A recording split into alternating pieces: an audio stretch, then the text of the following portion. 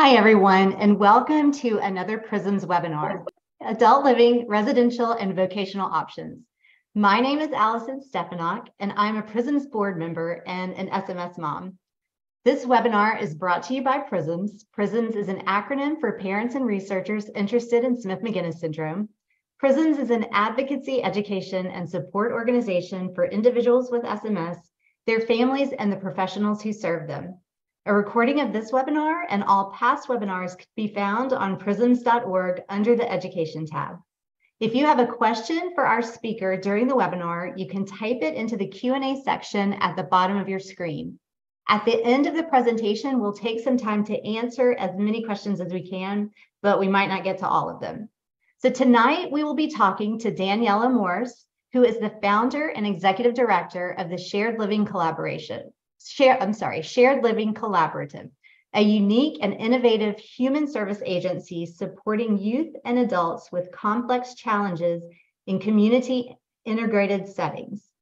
Daniela will be discussing non-traditional housing options, vocational training, organic farming, employment, social skills through development through animal assisted activities, therapeutic and recreational resources. Um, so welcome, Daniela. I'm personally very excited about this topic as I know many of the members of our community are. Um, my daughter is only 12, but I, we've definitely started thinking about what her future will look like. Um, and so thank you so much for joining us and I will turn it over to you now. Well, thank you so much for having me. And you know, I'm really excited because I was going to present at a conference and unfortunately had to miss it, but I'm so I'm very glad that I'm here today. Um, I want to let you know two things you know up front. One is um, I'm German. I've been here for 35 years. I do have an accent. Um, it's not going to get any less than what it is right now. I have a tendency to talk really fast.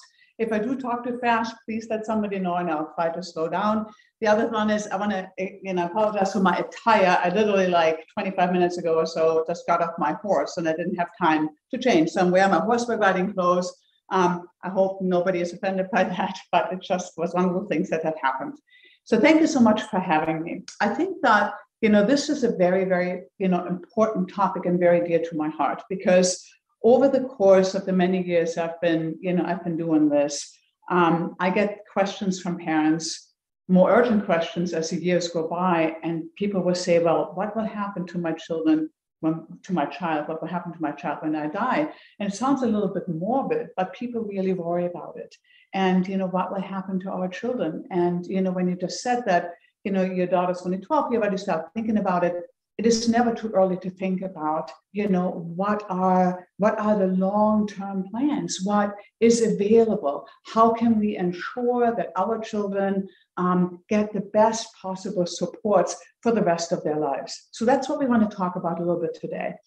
And you know i'm aware that people come from different states different situations but you know principles in general about planning and options and thinking about are pretty i think are pretty global um, I have talked to people internationally um, who there's, for example, a, um, a gentleman author's name is Eric Raffi, and he wrote, he went all across the world and talked to different people in Europe and America, in Australia, about what parents are doing for their children, particularly actually for children on the spectrum, as they get older.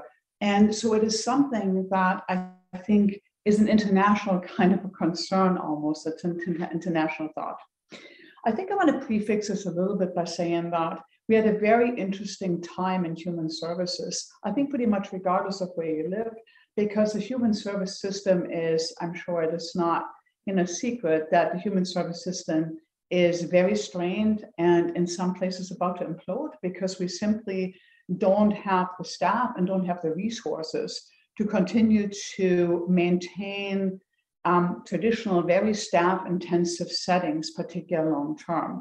So I think that whenever there's a challenge, there's also an opportunity. And I think for us to think about long term plans for our kids or for young adults or adults, now is a really great time because the system will not be able to continue to support what you know what we have been doing in the past because there's simply not enough resources particularly not enough staff so i am glad that you're here um, before we get started with like different kinds of different kinds of things a little bit about our agency So we are a young agency. We were only founded in 2007. Um, I founded it with 12 adults in the playroom above my garage. Um, we have since moved on and we are now a $17 million agency. We have $17 million in revenue, so we've grown very, very quickly. Um, and we have all different kinds of um, programmatic aspects. So we do something that's called shared living. We don't have any group homes, but we match individuals um, with shared living providers, with families, with roommates. Um, we take a lot of things into consideration. We'll talk about a little bit more about that. But we also really um, focus on vocational training. Um, so we have five farms, we have a carpentry workshop, we have a bakery, we have a restaurant, we have a sewing studio. So we have all different kinds of vocational options that in itself then also include things like landscaping. For example, we run a doggy daycare. My dogs are here, hopefully they will not bark. Um, because we're all allowed to bring our dogs to work because our individuals are taking care of our dogs because we have the doggy daycare and training component. So, you know, we have lots of different options. Um, when people with us residentially and vocationally, we talk about whole life supports because you know often people might go to separate day programs and go to somewhere else residentially, um, but we also offer the option of whole life supports. So one of the things that's really interesting is you know one of the reasons why we have grown so fast as an agency is that we have focused on people particularly who have very complex challenges. So people who, individuals who usually would be living and working in much higher, in a higher level of care. So meaning there would be, you know, more of an, you know, day habilitation program or more in a behavior kind of oriented program, or they would live in institutions or live in group homes and would not live in the community. And so I think that is, you know, the reason why we've grown so fast, fast is because there's a huge need for kind of alternative options for people, particularly again, people with complex needs, like in SMS adults, are complex and unique in their needs. So if we think about settings that would, you know, accommodate those kind of complexity and uniqueness, we're really thinking about person-centered care and person-centered supports. And I'm sure you have heard, I'm, I'm assuming you have heard that you know, person-centered support has been one of the focuses of you know, adult welfare in general, that we really provide unique supports. But I think, again, if we think about settings that are nimble and provide those opportunities for individualized supports, there are probably more alternative settings, like, for example, shared living or some adult foster care, or again, some other settings that I'll touch upon, rather than, you know, kind of more residential settings. Because if you have residential settings, six, eight, you know, five, six, seven, eight, however many people may live together, it is much harder to really provide that kind of person-centered kind of care. So the other big question is like, I think all of us as parents, we are looking for creating kind of permanency for our children we most likely are not looking for our kids to move from placement to placement or from day program to day program. So we really look at what is creating permanency? How, when can we say my child is settled in adult services and I don't have do not have to worry that much. So when we see in Massachusetts is 22, when kids turn 22, parents say that's really kind of the hardest time for them because they have to let go. They have to kind of turn their children over, if you so will, to kind of an alternative care system. And it's really one of the most challenging things to do. And, you know, interestingly enough, I think sometimes people understand permanency as a building as like brick and mortar, as like a group home, or we have some parents who build homes for their children and you know try to recruit caregivers to live into their homes and figure that might be permanency. But but permanency, in my experience, really is is community, is a sense of you know an individual your child being surrounded by a network of people that you know care a network of people that creates a kind of belonging. And here i want to kind of differentiate between the word inclusion and belonging. Inclusion is something we hear a lot about when it comes to developmental disabilities you know are people included?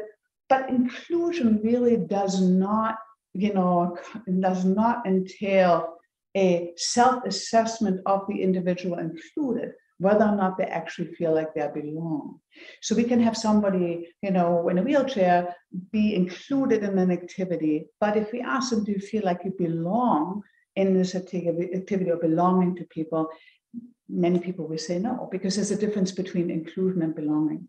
So belonging is a huge big part. And we going we talk a lot about that throughout because I think belonging and the sense of community is really what's creating permanency and what we are looking for for everybody. Interestingly enough, you know, belonging in general as, you know, a feeling has really suffered during COVID to the point that there's now actually, actually an institution, an institute for creation, creation of belonging because, you know, belonging is really a fundamental need for all of us.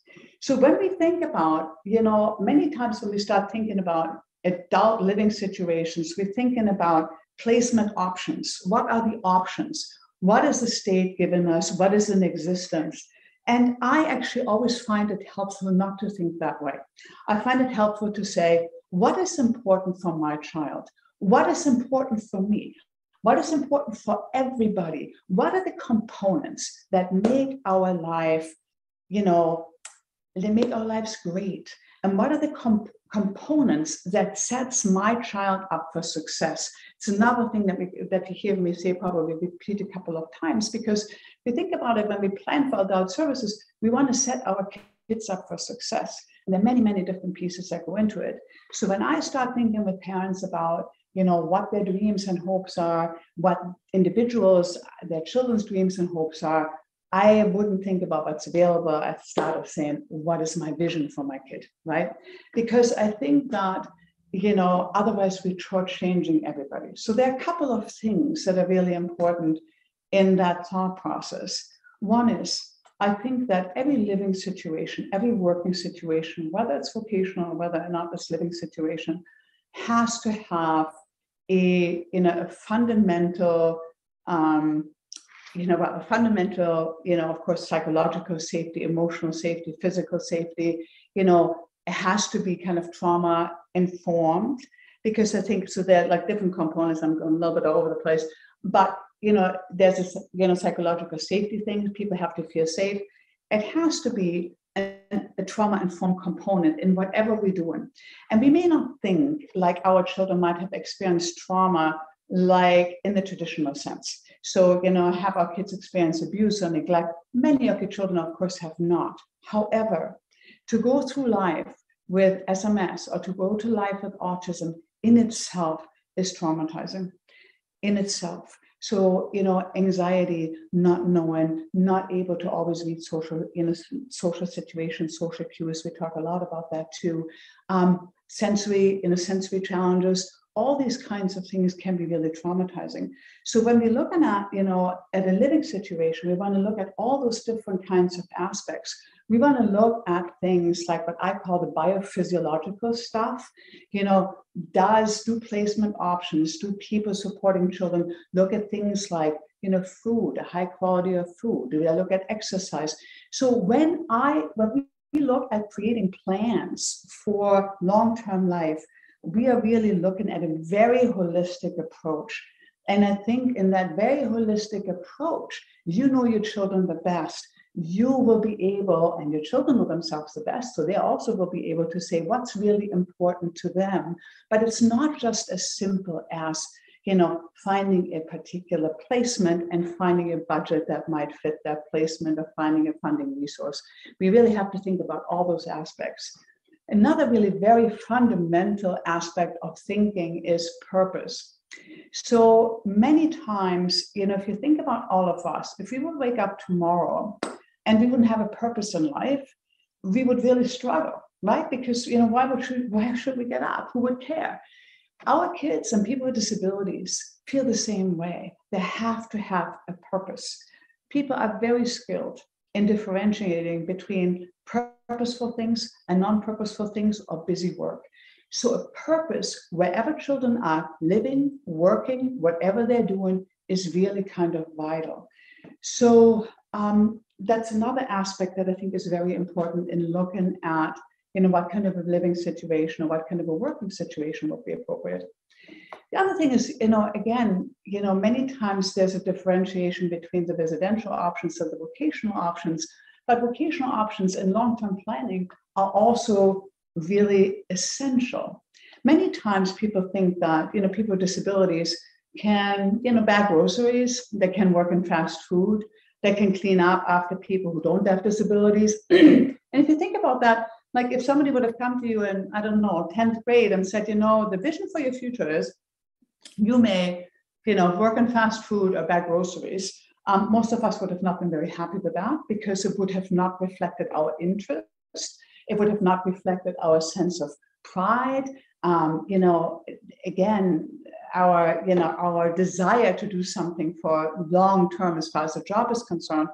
So even things like that, kind of think about what are vocational options for my kids and are they available and what kind of vocation is really important so we have you know created our vocational programs around the premises that mm, we're teaching marketable vocational skills um, that are reflective of people's individual interests.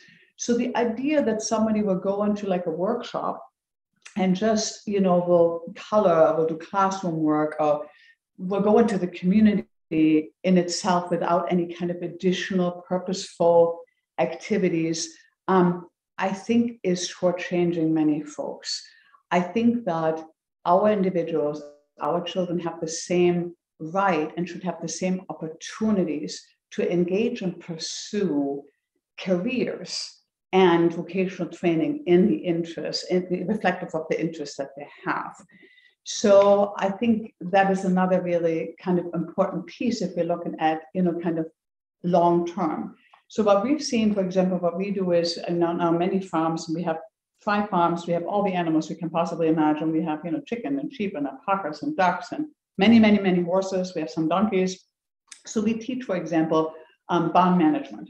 And our, you know, our folks who go to kind of farm management training, they will graduate and then they go to commercial barns and competi- are competitively employed in commercial barns.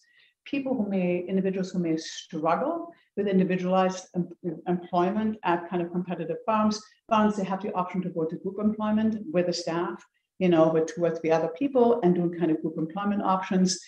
We do the same thing again with restaurant, with bakery, with carpentry studio so that they're really kind of different options for different people, reflective of their you know interest, ability, safety needs. So, for example, our landscaping crew, we have a landscaping crew. Um, they have four different kinds of lawnmowers. You have a push mower, a manual push mower, you have a regular gas mower, you have a ride-on tractor, and then you have a commercial lawnmower. So depending on people's safety needs and abilities, they can use all these different kinds of mowers, but still contributing to the general purpose of getting a landscaping job done. So I think again, there are lots of lots of different options that we can pursue if we are kind of if we are creative. So when we think about alternative, not only vocational options, but also living options, you know, we are doing shared living. I'm a big fan of shared living um, because, um, and I have to say that there are two different kinds of shared living. You know, in the United States, you have the kind of traditional shared living where you match somebody with a family or with a roommate or with a couple and then a caseworker comes to visit like once a month and you know make sure that everything is all set. That is not our shared living just because the people that we support um, you know including individuals at sms have often more complex needs. So we actually have a whole kind of you know array of services that are typically associated with a higher level of care. So, for example, we have nursing, we have an OT. Three times a week, we have groups. So, you know, people come to us for day program and with us residentially um, on Tuesdays, Wednesdays, Thursdays, and from three to seven, and Sundays um, from 12 to 5. They can choose from various different kinds of what we call recreational activities with therapeutic benefits, such as therapeutic horseback riding, or you know social skills development activity horsemanship we go into the community we go bowling we go to the gym we do all different kinds of things um, because again you know one of the things that's really really important in whatever we do is to also in our holistic planning kind of think about what are the social opportunities for people what happens a lot of times is that when kids turn 22, their friends stay at school. And all of a sudden, kids are left without a social environment. They may be placed in a group home with people that are much older, or they may be staying at home with not a lot of social opportunities. So the whole kind of social connections is really important. So, for example, you know, my children are 33 and 34, and I'm sure they love me, but I'm also sure that they do not want to hang out with me all the time because, you know, that would not be very much fun for them. The same goes for our kids. So even when we're planning, we have to think about what will their social life be like? Where will they have friends? Does it have to be an environment where people have to do traditional friendships? Can it be, you know, different kinds of social opportunities? Can there access social opportunities that reflect, I call it social stamina, the ability to successfully withstand social interactions for prolonged periods of time. So when I work with people, I always ask myself, what is their social stamina so that I can end any kind of you know, social interactions on a positive note and not exceed what people's social stamina is. So I think again, that's another really, really important piece is this social kind of piece because all of our children are social beings, even children on the spectrum who are supposed to, you know, thought of as not being social, they're absolutely social. They're just social a little bit more um, on the peripheral, a little bit different, right? So, and like to get in and out of social situation rather than be being kind of in the social situations all the time. But if I think about long term, you know, those are it's a very, very important thing because as we get older, we identify ourselves through the work social interactions, where we live, what we do, right? So those are the kinds of things in general I think about. Mm. And I think about planning and long term. I'm asking myself what kind of a setting will be most appropriate for my child who, for example, has, you know, has sensory integration issues. Sensory, in my opinion, sensory challenges is one of the most underestimated, most powerful, kind of um, a challenge or an asset um, that we can work with. It's really interesting because most often people think about sensory stuff when they talk about people with disabilities, right? But all of us have sensory profiles. So if you look at my office that you cannot see that I'm looking at currently, I'm a sensory seeker, very much so. Got a touch of ADD. My office is like fire engine red. There's stuff all over. And you know that really helps me to be productive one of my coworkers is sitting in an office where this is weird kind of salmon color and everything is like straight and there's nothing on the walls and the stickies are all lined up that would be an awful environment for me to work in. I wouldn't be very productive because before long i would just start moving around and saying well where's the action here?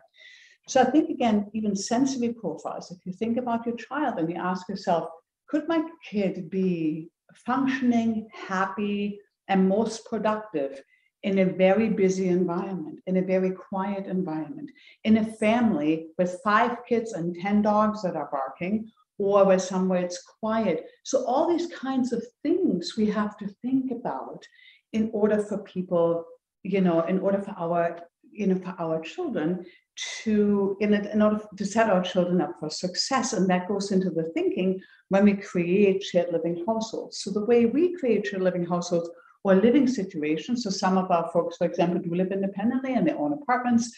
We are thinking about all these kinds of aspects, right? What does the apartment look like? Do we put noise canceling materials into, into the apartment? But again, what is the activity level? Um, all these different kinds of things, not only just assessments about what people can or cannot do, but what really makes individuals thrive we have been experimenting with different kinds of living situations outside of shared living. I want to say a little bit more about shared living. So, shared living is basically where we match individuals with shared living providers, but then really there's an extensive circle of support around. Of course, we have on call teams, for example, for emergency, and we don't have just a notification service, but we have a proactive kind of on call service that if there's a challenge, people will go out. Um, most often like managers will go out and help diffuse a situation. As I said, we have nursing, we have an OT, we have what we call life coaches because somatics do matter.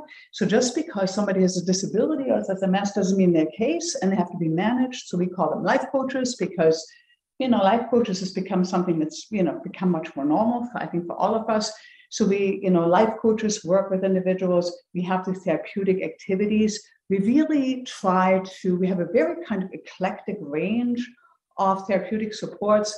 We do a lot of social skills development, for example, and a lot of trauma work with our miniature horses. Um, you know, and we, you know, just to give examples just of some creative things. So when we talk, example, about people have a very high, you know, arousal level, high energy level, very loud, you know, we ask them to approach a miniature horse and they're non-threatening. So even people who've experienced trauma, you know, they have the kind of little horses and they're not threatening. And we say to them, now let's bring your energy level down, right? Because you know, horses are great because they reflect directly the amount of energy and the mood you're in. So when I went to ride my horse, you know, right before here, I had a kind of tough day. It was like very fast, and I was like revved up. And you know, my horseback riding teacher was a wonderful man. Said to me after five minutes, "Just stop, Daniela, just slow down. Your horse is racing, you're racing because you know he picked up on my energy." And so that's a beautiful thing about horses. They're reflecting the level of energy we have. We then teach our adults and our foster children as well to kind of slow down and to kind of just say, let's calm ourselves. And when the horse is calm, we know we are calm. And then we bridge over to, you know, other situations. So when we are in the movie theater and somebody starts to really rev up, we say, remember, remember how you approach the little horse. This is what you want to do. Just an example of a little bit piece of thing.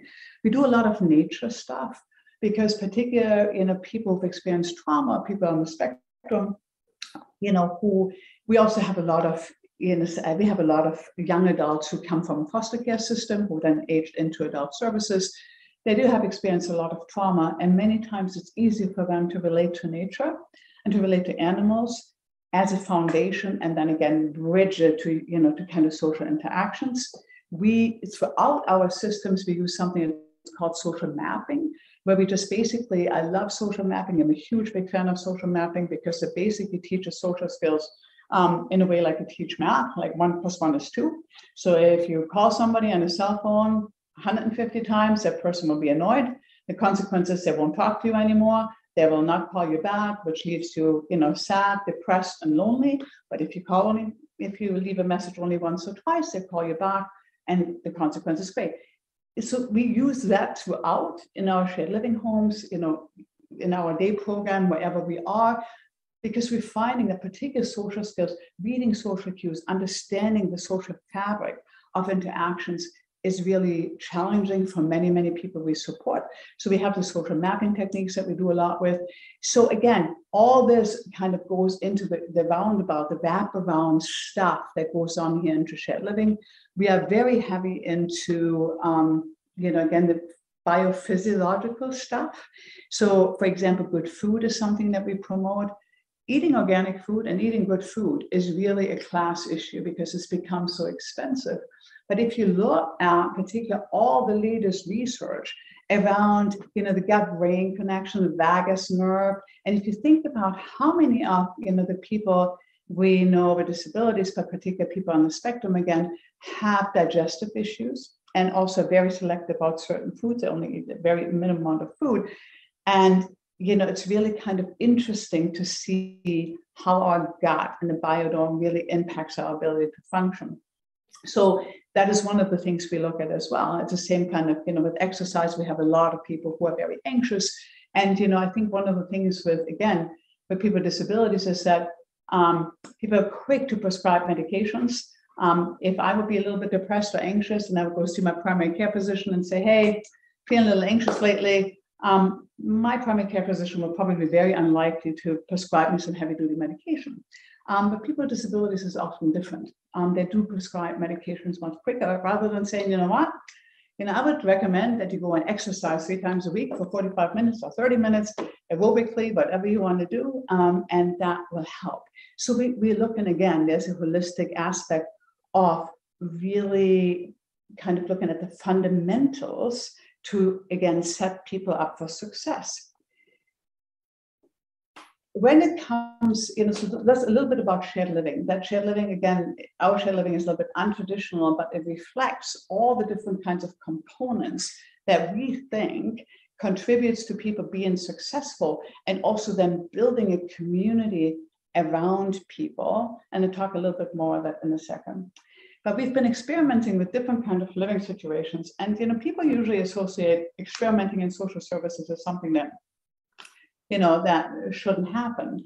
But as long as it's done in a really thoughtful and safe way, there's nothing wrong with trying certain things to meet needs of individualized people. So, for example, mm, we have um, we have a apartment complex in Havel that we rent from a wonderful man. Um, he's wonderful because he is renting apartments to us at cost. And I don't know about where you are, but in Massachusetts, the rents are absolutely crazy. Um, you'd be hard pressed to find a studio one bedroom apartment for $1,800, which of course exceeds what many people with disabilities can pay. So we have established relationships with landlords who are willing to rent to us really below market value because they believe in what we're doing. So we have this apartment complex, and you know we have a couple of staff living there. We have a son of one of our life coaches living in there with his family, and then we have four individuals living in the same apartment complex um, who could almost live independently, but not quite. Um, so it's been a very, very kind of successful situation because they have their own apartments. Um, three of them are actually on the spectrum, and so the you know the landlord has built out the apartments based on their needs. Again, very simple. You know, noise canceling materials, carpets, light dimmers, all these different kinds of things that are really helpful in order for people to thrive. In addition to that, there's a common room that was originally a garage where people can go and socialize if they like to, but they don't have to. So they don't have to have people come into their own apartments, which is a little bit hard for some of our folks, but they can go out and they kind of socialize. And in that social room, you have different zones. So you have kind of one is close to the wall, looking out the window with a couple of computers. That's people who, you know, social stamina is not that great. And then you have, you know, options all the way to kind of really, you know, like a table with different kinds of games so people can interact. So that has been a very, very kind of successful model because somebody is there all the time. There's assistance, there's somebody there in case of emergency people do have the independence, but again, get support. And again, they also get case management, all things like that. But what, that was one of the situations that, you know, has been a wonderful model that we're seeking to duplicate for others as well, which is kind of a little bit of a hybrid between shared living and independent living. The other thing that we're very excited about is we're actually starting our first tiny house community. So again, in our quest to find, you know, living situations that options because it's really about variety of options. We um, we have found that many of the individuals and families who come to us really feel very comfortable on farms. So they say we don't want to only work, or the individuals don't only want to work on a farm, they also want to live on a farm because they like the nature, they like the animals. So we are starting our first tiny house community actually we are building and it's you know hopefully going to be done um, in october. Where we have four tiny houses one of them you know staff is living in, in the tiny house and the other three are going to our individuals who also happen to work on the farm. So they basically have their own homes but it's kind of a similar principle that somebody is right there. It's just a different kind of a situation um, you know as far as living situations so i think it is really important that we think about you know, creative ways. And if you also look at each of these two examples that I gave that are a little bit different, the house, the Haver house that we are that we're renting, has that sense of community and belonging. the residents in the home independently, like for example, um, in a couple times a week, there's a cookout. So people, everybody will come out and join the cookout. They don't have to, but it's an option. So there's a sense of community and there's a sense of belonging to that community to that house. the tiny house community is the same thing.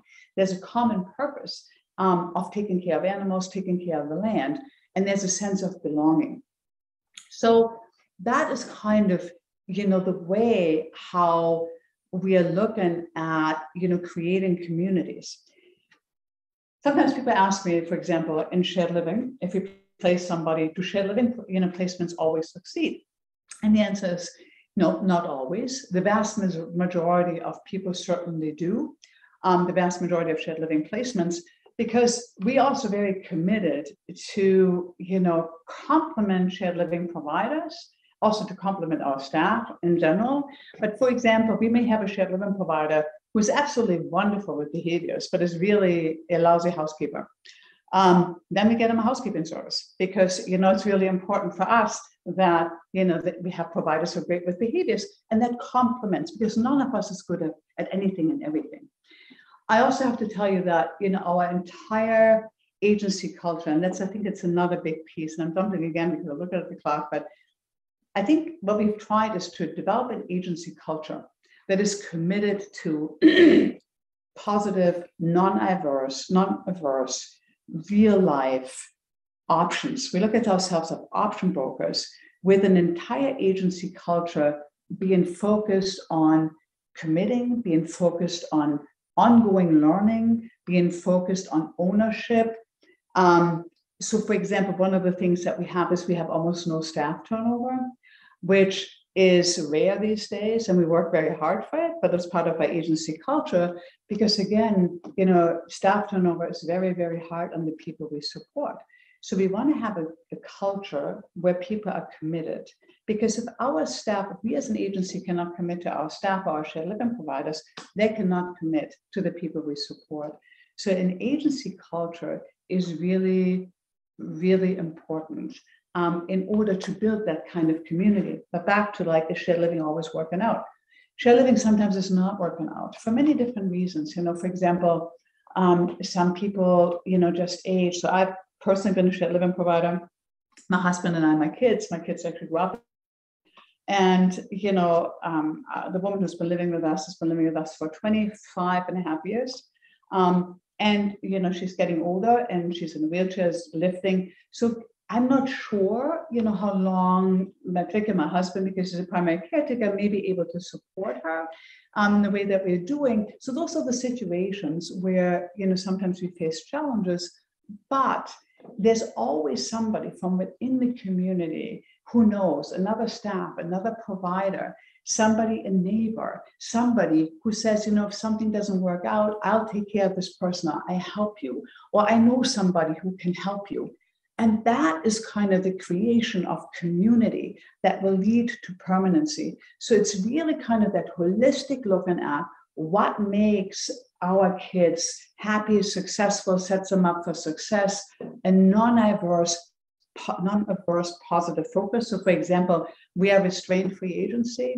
Um, we, you know, many, many people who are coming to us have a history of you know long-term institutionalization, psychiatric hospitalizations, and certainly restraints, school systems, wherever they were, we don't restrain people. Um, so you know we really find it disempowering and you know not helpful and traumatic for people to be restrained.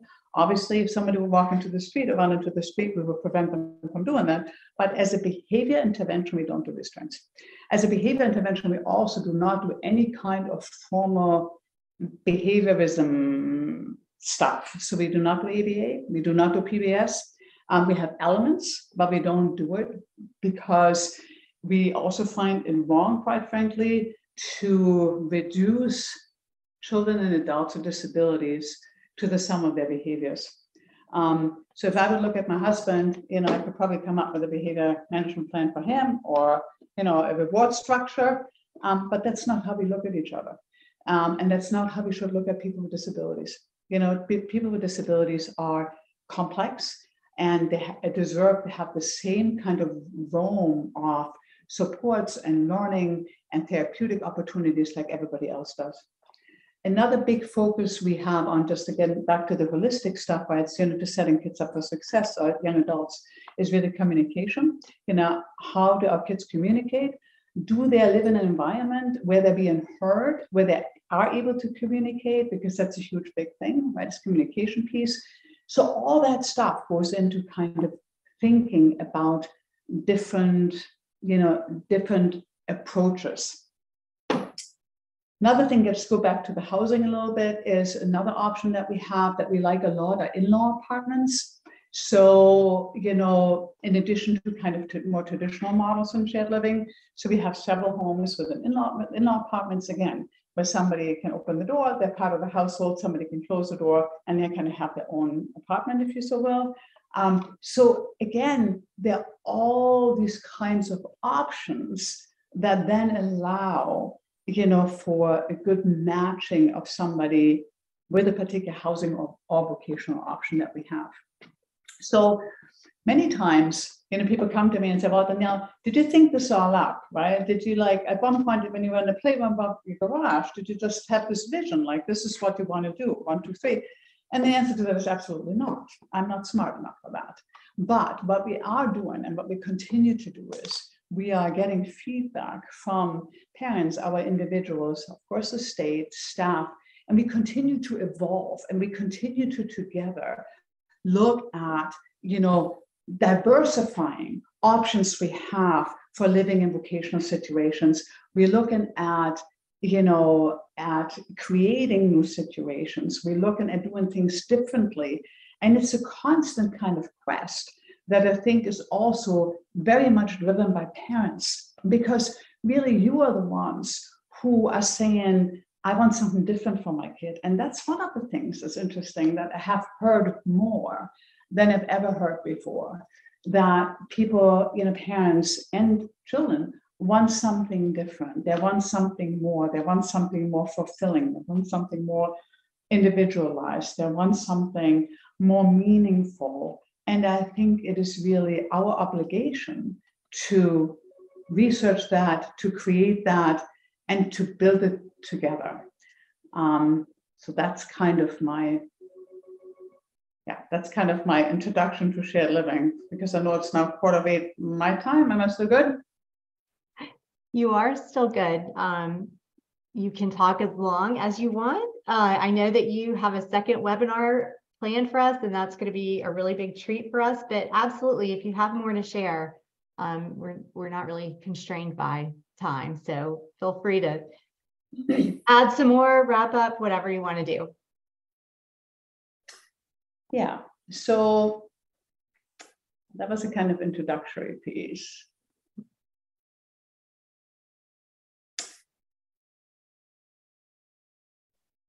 I think we're probably going to take questions because then I would have to start another whole section, and I don't know if I will be able to fit that into the next five minutes. But whatever, if there's any an interest about a particular topic, but if I would start this next section now, that would go for, for quite a while.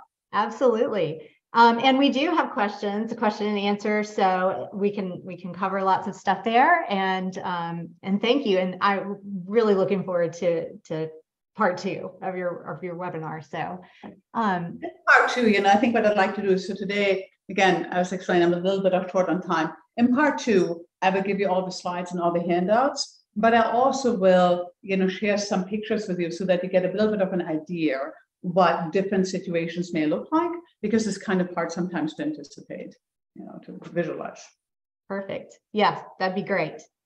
All right. Well, thank you so much. And I mean, your work is absolutely inspiring. Your philosophy is beautiful. And I really appreciate, I know that this information is going to be really beneficial, beneficial to all of our parents. Um, so thank you.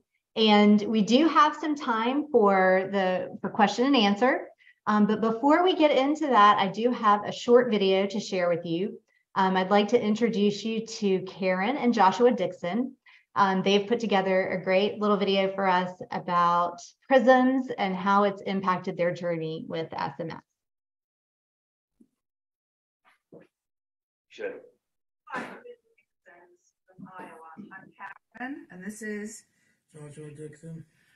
We're really grateful to Prisms. Um, Josh was 16 years old when we got a diagnosis of Smith-Magenis syndrome, and it was really because of Prisms. We happened to meet a support group from Texas that was meeting at a special needs theme park, and they recognized Joshua straight away. Through them, we were not only able to get a diagnosis, but we've got so much more information we haven't really found any providers that know anything about Smith-Magenis syndrome. So having PRISMS as a resource has been wonderful for us. We really appreciate everything that the organisation does. Josh, what do you think of PRISMS? Well, I mean, honestly, because it helped me be a lot more open and public. I don't worry about uh, other stuff that I, I because I because I used to do. I mean, it really. I mean, having a fun back and notice has uh, really make sure that it's concrete. And it's like we we've been struggling for years to have it. Like first it was ADD, which I still have, and all that, but this has been definitive. So basically, thanks, Prisms. We appreciate you. Thank you so much, Karen and Joshua, for putting that together for us um, and sharing your story. That was really great, especially to hear from Joshua um, directly. That was fantastic. So now we have some time for question and answers. And um, we have a lot of questions tonight, so we might not get to all of them, um, but we'll get to as many as we can. Um, all right, so let's get started. So the first question, um, this is an easy one. What is the name of your agency? We're called Shared Living Collaborative. And you are more than welcome to come by and visit us at any time. We love visitors. Um, so if anybody would like to come and visit, please come by. Great. Um, okay, uh, next question is where are the locations of these shared living collaborative models? So we are only in Massachusetts and we are, you know, primarily north of Boston. We have a few homes in central Massachusetts. We have some in southern Mass, but we it's primarily in Massachusetts. We have we, however, are willing to share. So we have gotten, you know, so many inquiries, particularly after the article came out in the Rolling Stone magazine about us, like in 2016. I have to tell you, we grew so fast, we don't even have a website. So, you know, the, the biggest kind of press, you know, release that we have, or the press article we have was in the Rolling Stone magazine that came out in 2016. And we got a lot and lots and lots of requests for, you know, can we do something like this where we live? Can you help us start something? Can we take some ideas? Can we have your paperwork? And the answer to that is absolutely. So, you know, even if you're not close to Massachusetts and if you're interested in finding out more about a particular model or, you know, about shared living in general, or if you like to duplicate something, or if you want to start your own program, or if you want to start your own tiny house community, we are happy to share anything and everything that we have. So any any materials, any anything you would need. That is absolutely wonderful. Um, thank you. Thank you for that. And um, okay, so the next question has a few different parts, um, but very important to SMS. So um, are there individuals that have needs beyond what you can provide? And what are the parameters of your services? And are you able to handle individuals who engage in self-abusive behaviors or aggression towards others? So yes, so we are, there are very rare occasions when we cannot handle, you know, somebody who we, well, because again, so when, when we take someone in our agency, we really try to get to know them before they come so that, that we can really make a commitment you know so there's there's a transition process consisting of visits and you know just kind of gathering information and meeting with parents and meeting with you know, collaterals, whoever wants to meet with us, so that by the time we're making a decision and saying, yes, we can support that person, um, we are reasonably sure we can. There's sometimes, does it always work out? Not always, but the vast of the majority of the time it does. We do take people with aggressive behaviors and we do take people with self-injurious behaviors, but we are we are approaching things a bit different from traditional kind of models. So, for example, if you know somebody engages in aggressive behaviors because they're anxious, because many again most of the time when people you know engage in behaviors, there's a good reason for it, and very very, very often it's anxiety, it's overload, it's all different kinds of things. So we really try to find out, you know, why people engage into those kinds of behaviors and then what we can do to prevent them. So it is more of a proactive focus rather than giving somebody a consequence and then expecting that they would learn. Um, that's not necessarily the case, right? Because I think a lot of times when we look at, you know, child welfare or social services, we think that, you know, people would just, if you give them the consequences, they will say, aha, you know, now I know how to do that. That's that's way too simple, right? Because otherwise all of us would have gotten up this morning and had a bowl of special K and went running for five miles because we know that's the right thing to do, right? So we really look at the complexity of things. Um, so, and that's where the person-centered care comes in. So, for example, many of the uh, several of the people we have with Fragile X, when they get really anxious, they ground themselves. They go on the floor just because they're anxious, right? Under normal circumstances, you would say, we need to get up, we need to get going, we have to go and get the van, we have to do this. We don't do that. We wait. We wait. We wait. If it's four hours, if it's five hours, we wait until they're ready to come up and they're ready to, you know, to move on their own account. If somebody engages in, you know, we have people who have a history of throwing computer screens at us or printers, which is not necessarily pleasant. So we then try to sometimes exchange lethal items for non-lethal items. So we may give them like a board of, you know, paper, a cardboard box of paper, and have them rip it up. You know, just you know, replacing things. So there are lots of individualized ways how we handle it, but we just look at aggressive and self-injurious behaviors, not as aggressive or self-injurious behaviors, but as misunderstood ways to communicate that something is wrong. And I think that is a piece because behaviors are really just another way of communicating. And that's why I think language a lot of times and meaning attached to language, because some people know the words but not the meaning necessarily, is a really important piece of what we're doing. But we are just looking at behaviors as communication, if that makes sense. It does. I love that. And that's so true. That that really is behaviors clearly are just another form of communication. Um, so that's wonderful. Okay. The other pieces to that with the behaviors, because it's one of my favorite topics, I'm probably going to talk a lot about next time because the, that was a section I said, should I get into?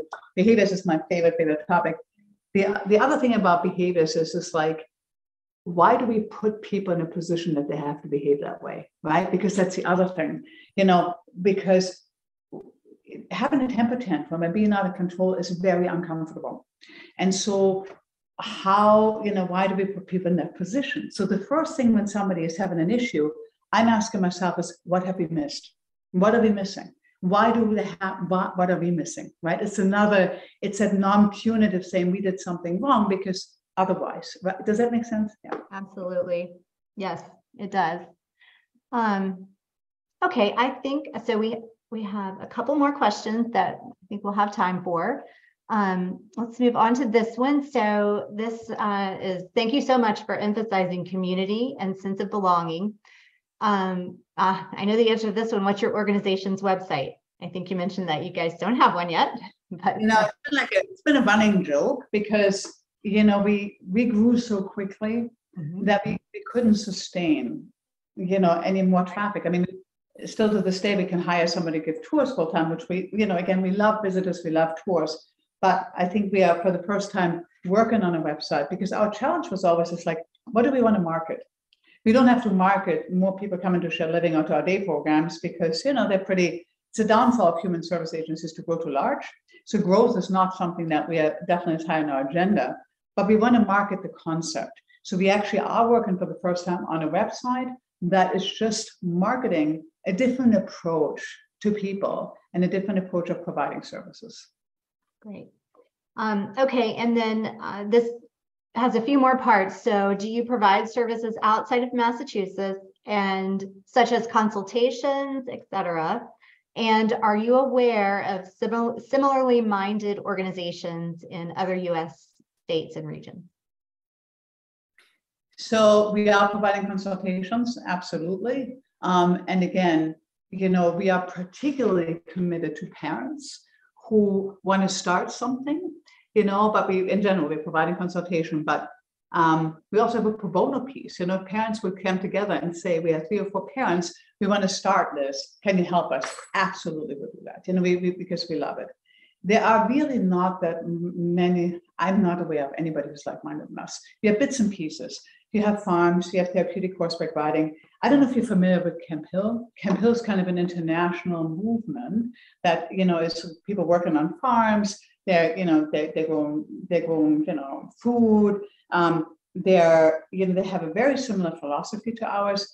The, the the difference is that they don't take they don't support people who are really challenging. So, but the philosophy is similar for people who are you know not challenging. But we really are. There's really nobody like us out there. Okay.